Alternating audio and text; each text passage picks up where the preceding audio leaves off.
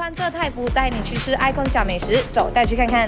从万安路大船过去只需要十分钟。这里面的装潢有没有很像巴士呢？耗资五百多亿的豪华商场真的很漂亮。今天不是来买 LV 和 Hermes 的，今天带你们来找隐藏版美食。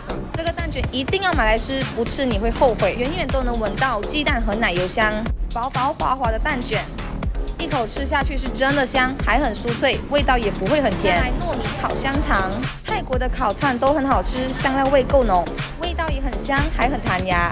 再来泰国必吃的烤猪肉，沾上特制辣椒酱，味道甜甜辣辣的，好吃。路过看到炸五香和炸云吞，看起来都很好吃，点了份炸五香，肉很紧实，炸的也很香，淋上一些酸梅酱。饭后来个甜点，椰子布丁。满满的水果，还有椰子香，布丁也蛮滑的，解腻。